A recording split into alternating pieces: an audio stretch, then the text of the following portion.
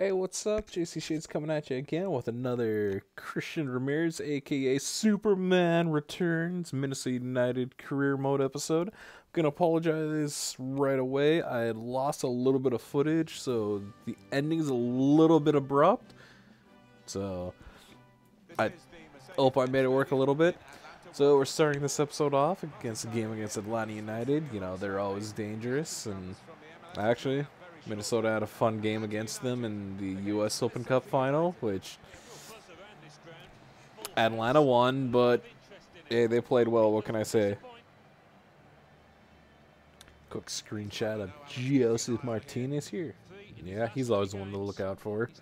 You know, he did hold the single season goal record until Carlos Vela absolutely won off last season. So, but he's still quite a dangerous goal threat and what is he like 28 now? So, you know, unless he decides to go elsewhere, he's uh, he probably got another good five six years in him. So, let's see here. Well, got Miles Robinson, Julian Gressel, Pity Martinez, Josef Martinez, Ezekiel Barkle, excuse me, Barco.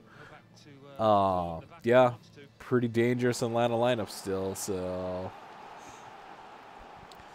and I'll have to look. I'm trying to remember what moves they made during the off season. I know they let Darlington Nagbe go. Uh, anyway, let's see. You got Tr Tremblay. Oh, hey, Boxall getting a start there, along with Angel Gomes. Rodriguez in the middle, Finlay out wide. Look at those wing kits. Oh, yeah. Another thing I want to mention. So, you may notice another difference in the episode. Episode 1, I had the kits from the past two seasons Minnesota United wearing. Um, yeah, that was recorded before the MLS update was released on FIFA. So, yeah. I know. It probably looks a little weird for anyone who says that. Oh, Josef on the attack. Over the pity. Up. Uh, pity puts it in. Like I said, they still got a pretty pretty dangerous lineup down there and got a couple good young guys coming up as well, so they're not exactly hurting too much. I mean, they had quite a turnaround. Granted, they were probably a little exhausted from playing in the CONCACAF Champions League to start the season. Anywho, going, or they go up 1 0 at the start of the half here. But yeah, but you could definitely tell a difference in the season as Rodriguez turns and puts one in here to even it up. So yeah, no, um, I don't know there's always a complaint about, oh, you know, the Mexican leagues, like halfway through the season, blah, blah, blah, they're in a lot better form than MLS teams. Well, I guess that's what happens, but hey, we'll see how things go. I know uh, LAFC lost their game. NYCFC, granted, they conceded three, but five away goals is pretty big, man. um, what are the other results? Was it Montreal? They ended up drawing. Seattle drew as well, which they were actually up 2 0, and then they just looked gassed the last 20 minutes of their game. Although Jordan Morris had a great opportunity to try to put them up 3 0. Needed probably should have been a little more selfish on the play, but thought he could play Ruidiaz, and I don't know. But yeah, they look pretty tired. Uh, Atlanta drew theirs, so it's going to be pretty interesting. Speaking of draws, we go ahead and draw this with Atlanta in their stadium, which I think it would be pretty fun to see a game there sometime. It looks like a really nice stadium. Uh, the atmosphere just seems amazing there. So maybe someday. Second game of the episode, going up against Colorado Rapids in the U.S. Open Cup. Although on here it's almost like another MLS Cup because, well, there's only MLS and the, well, Canadian teams are in it, I think. Wow. I'll need that. Actually, pay attention to that sometime. I actually don't know if the Canadian teams do playing this in career mode. Oh, I really not? Anyway, so going here, got the home crowd behind us, so that should help out a little bit. Got most of the starting lineup in here. Let's see. Former Minnesota United player somewhere in that Colorado lineup. A little bit of rotation. Have uh, giving Javier or Javi, Javi Hernandez a game. James Sands in. I can't pronounce Chong's first name, so Rodriguez at striker again. So trying to rotate a little bit.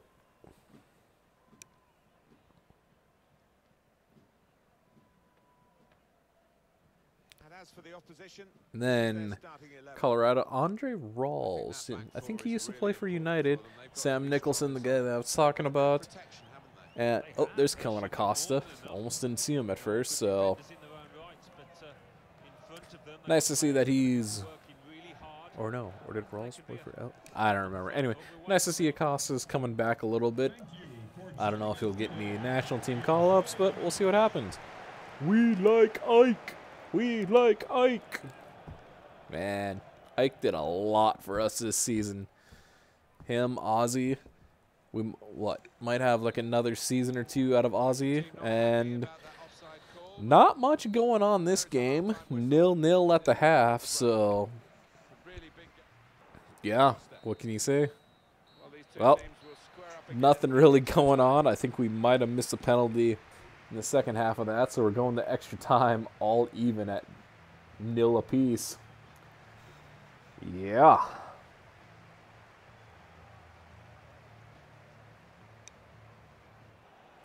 And I usually don't show plays like this very often, but I had to include this one. Tremblay gets one save, gets two save, and then he just has to knock it out and just absolutely saves us. Molino plays it up to McGuire. Molino gets it back. Oh, oh, Molino's got an opening. Take that. Oh, look at there. Kevin Molino with the game winner in the death of extra time. Can't do that any better. He's going in the middle for Colorado. Wish he would have got a little close to the post, but you know what? He went in. I'm not going to complain. Nice shot.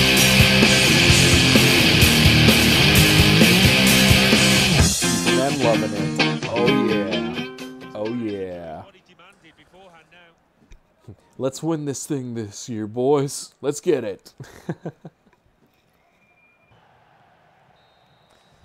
and at the end of extra time, Minnesota takes it 1 0. You know what it is.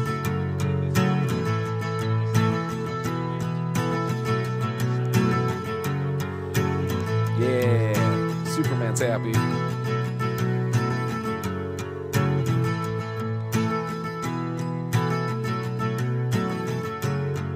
Gonna go sing with the crowd, Glads.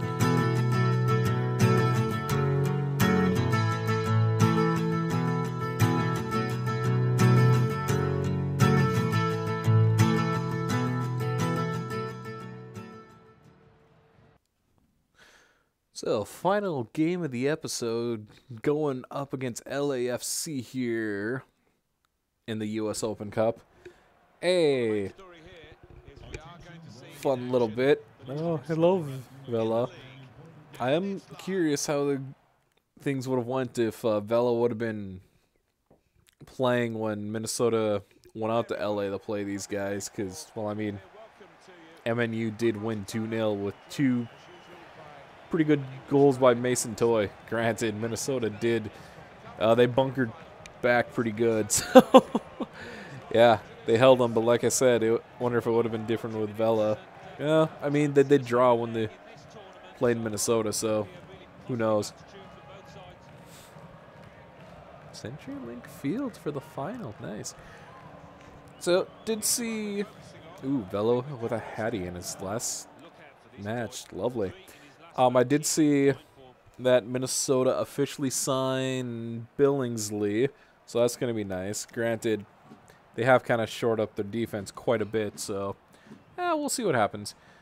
I forgot they had signed one forward. Oh, I'm gonna butcher his name. It's Aaron like Schoenfeld or something like that. I guess he played for Columbus at one time. So I mean, I guess the depth is good. Depth, excuse me. Um, and then they did draft a forward as well. So we'll see what happens. Hopefully, Amarilla can put some away, even though for us, and then Mason Toye come in. I mean, if the midfield can play even half decently, we should be all right. Um, although we are a little short on the wing, so I'm a little curious about that. See what happens. So, well, get this going. Well, let's see. Yeah, Zimmerman, who well no longer with them. Blessing in the mid. Diomande and Rossi with Vela up top. And nothing really happening again in the first half. So we're going to go in the halftime all even. Chong laying off to McGuire. McGuire found Angel Gomez. Oh, Gomez puts it in. Nice little turnaround, my man.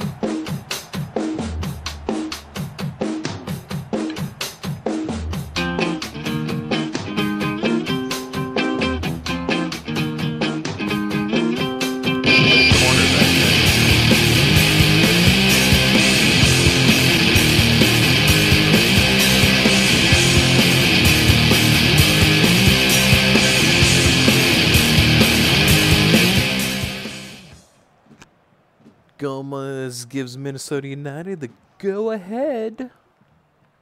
Nice work. Nice work. Oh, what do we got here? McGuire on it. Oh, cuts back a little. McGuire looking. Oh, no. McGuire looks. Keeps it. McGuire puts it in himself. Hey, I think that breaks a duck for him. Punch that flag.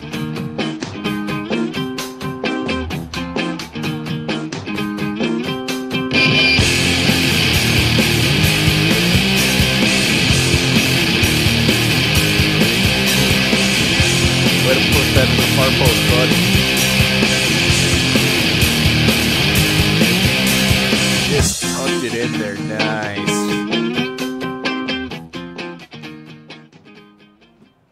Puts us up 2 0. It's looking good. Looking good.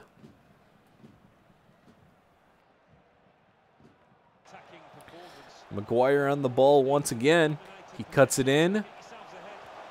Lays it off the Lod. Lod puts it in, the go up 3-0.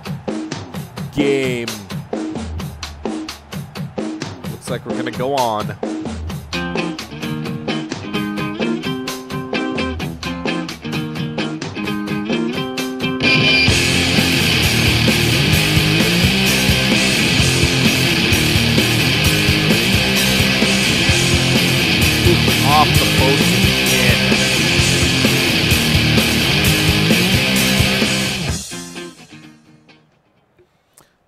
0. And yeah, I think we're good.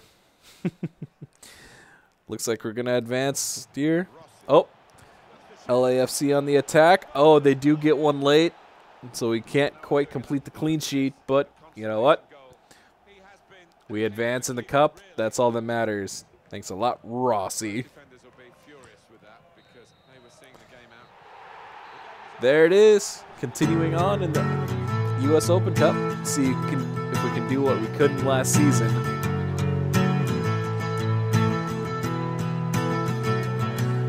And like I said, I apologize. I lost a little bit of footage, so this episode is going to cut off right at the end of this game footage. But until next time, thanks for coming out. This is Shade signing out.